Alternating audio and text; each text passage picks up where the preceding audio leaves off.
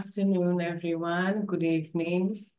Welcome to lecture 15, which is on community engagement in STEAM. So today's lecture is, the lecture's aims are to discuss how families and wider community can be involved in STEAM education. And then we're going to be thinking of ways to enhance STEAM learning, thinking about and making connections with cultural, with the culture and uh, events. And then we'll finally end with the introduction of a mini assessment. Okay? So, getting families and wider community in, in STEAM education is super important for making learning fun and inclusive. Now, think about things like family STEAM days where parents and kids can come together and work on cool projects or hosting community workshops that get everyone excited about science and technology. Uh, bringing, in, bringing in guest speakers and teaming up with local businesses and museums can also give uh, a, a real taste of what STEAM careers could be for students.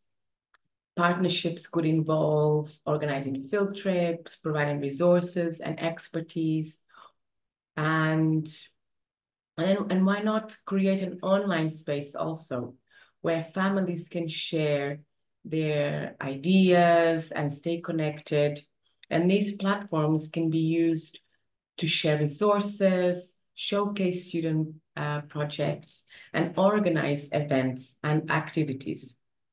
It's all about making STEAM education a community that's exciting for everyone involved. Now, ways, ways to enhance uh, STEAM learning, okay, uh, from the lens of Asian cultural events. We have um, origami ECA, and as an example, so you can see from the pictures I've added, this is from my current school at DSB International School.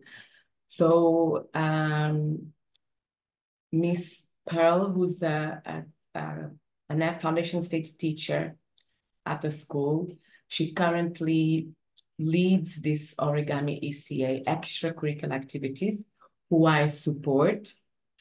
And in these, in these ECAs, um, it offers a hands-on way to explore geometric geometry and spatial reasoning. And this also helps students to learn traditional Japanese origami designs and create three-dimensional shapes. Now, this uh, the, the current ECA that we currently uh, deliver, it's for um, three to four year olds. We we have offered for older kids as well, and the main focus was the basic uh, or uh, skills of origami. Now, origami, if some of you may not know, it's a, the Japanese art of paper folding. Okay, and it introduces concepts of symmetry, patterns, and geometry. Another way of enhancing um, STEAM learning is through Chinese calligraphy. Now, you can explore the art of Chinese calligraphy, which combines um, expressive, art, uh, sorry, artistic expression with precise brushing. And so you can you could invite a calligraphy expert to demonstrate traditional Chinese brush painting techniques and teach students how to write basic Chinese characters. Now, this not only enhances fine motor skills, but also introduces students to the aesthetics of Chinese culture.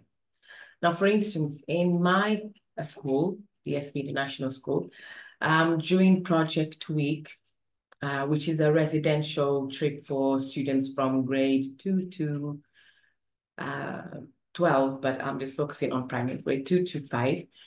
Um, the children had the opportunity to attend a calligraphy workshop where they explored using different natural materials from their environment to write.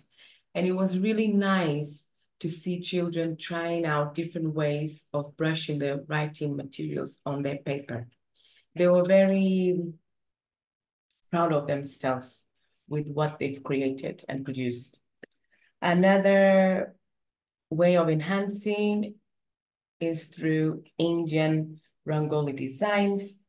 Now, Rangoli is a traditional Indian art form where intricate des designs are created on the ground using colored powder, powders, rice flour or flower petals.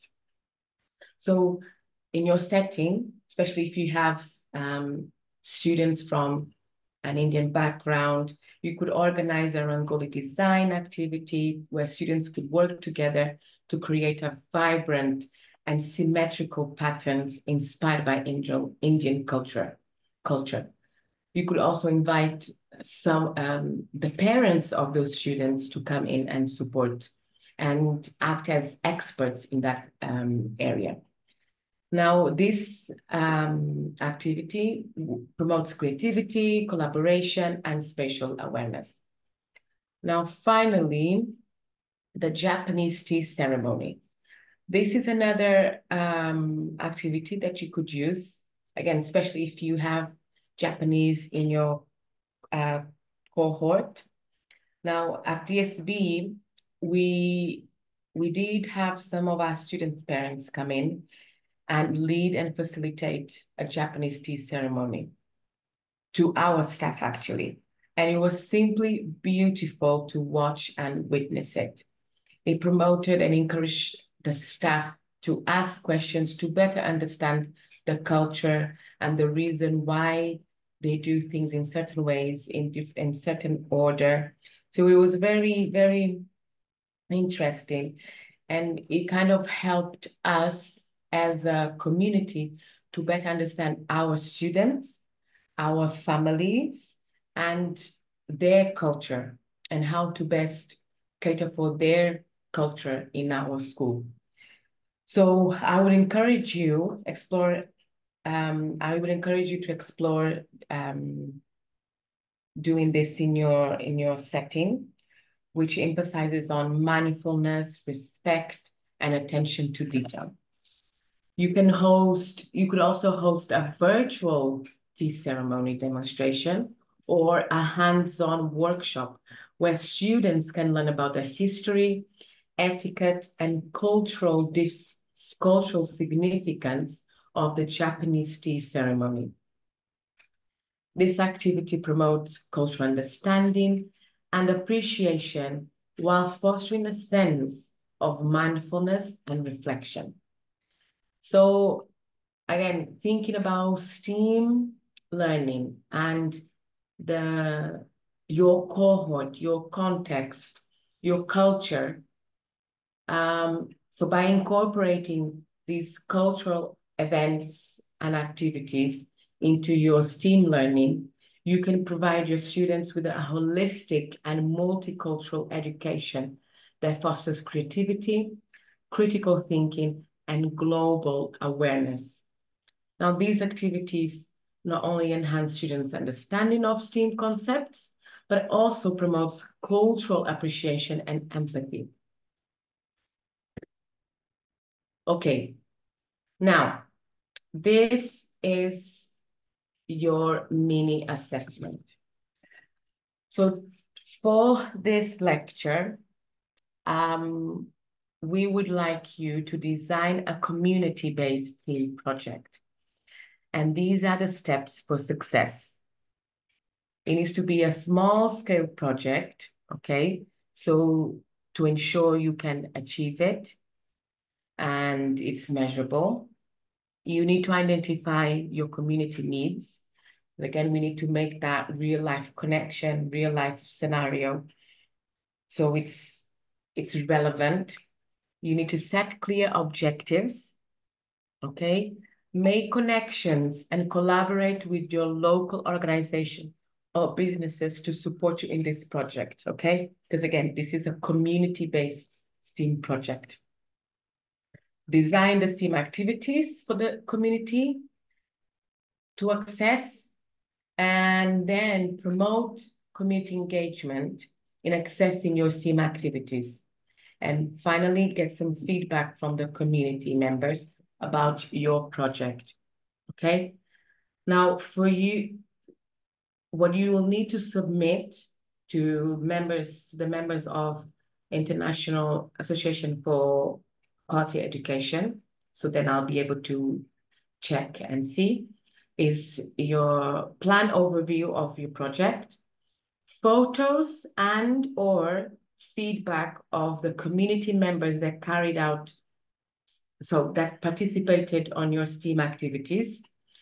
And, um, and also, you could also share um, some testimonials of um, the people that were involved in your project that supported you. Okay? So that's what you'll have to submit for this mini assessment. I hope you enjoy it and have fun. This is not a competition. This is not um, a race. It's about uh, putting all the learning that you've learned so far right from the start of the modules and lectures to now and put it all on the table. And again, to make it relevant for you and your context is thinking about your community, what your community needs, what would they benefit, what kind of activities, STEAM activities could you come up with, or could, yeah, could you come up with that would uh, engage uh, members of your community. Okay? Right. So, uh, so to, find, to summarize what we've covered in this lecture, so we've discussed ways to involve families and why and the wider community in STEAM education. And then we thought of ways to enhance STEAM learning. Um, and finally, we ended up with uh, the introduction of the mini assessment. I hope you have a wonderful day and I look forward to seeing the, your submissions. Enjoy. Bye.